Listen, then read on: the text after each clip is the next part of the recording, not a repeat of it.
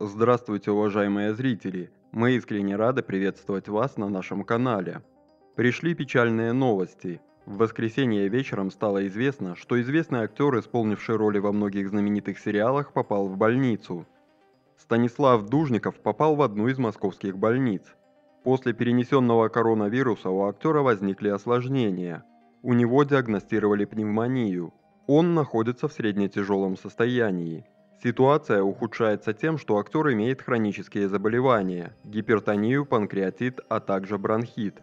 Между тем, супруга артиста заявила, что состояние ее мужа не вызывает беспокойства у медиков.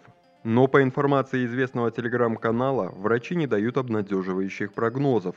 Они считают, что состояние тяжелое. Вся надежда на организм актера.